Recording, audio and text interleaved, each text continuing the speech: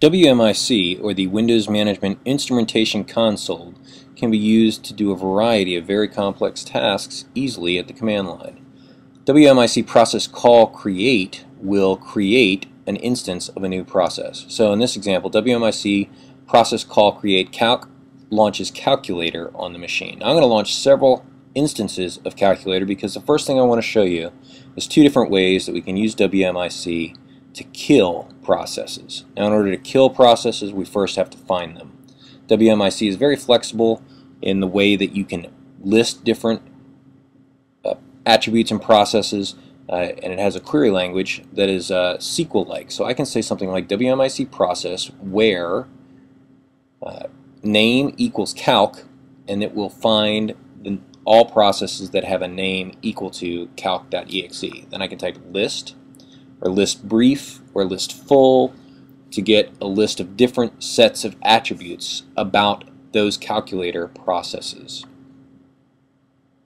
Now, after I've listed my processes and I see that I have the processes that I want to uh, get rid of, I can then change the last word to call terminate. So the, the action that I'm going to take on this process is to call the terminate process.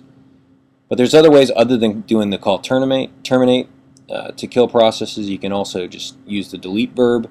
So let's create a couple instances of calc and let me find them in a slightly different way. So instead of saying the name is equal to calc, I'm going to say WMIC process where the name is like calc anything, C-A-L-C anything. The wildcard verb or the wildcard uh, character on WMIC is the percent sign.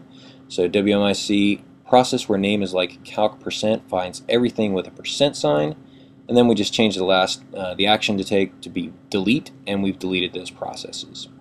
Now besides running processes we can also query and monitor on, uh, running processes. Uh, first let's look at all of the attributes are that are available on a running command process. So WMIC process where name is like command anything list uh, we'll list brief and we get this set of attributes. If I want to see everything that's available I can type list full and these are all of the attributes that are available to me to query. So let's pick a couple of these that we think might be interesting and then monitor those.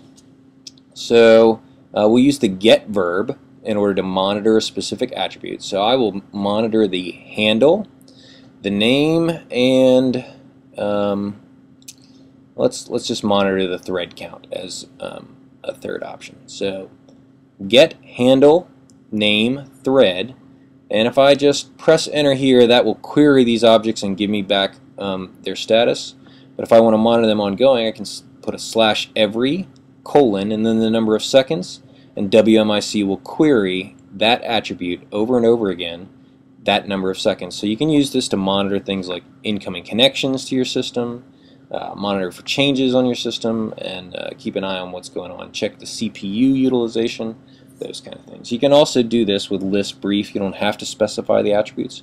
So the forward slash every can be added to the end of uh, just about every command you can run, including creating processes and other crazy things. So WMIC, very powerful. Uh, it's, it can be used to query, change, or delete attributes off of your system.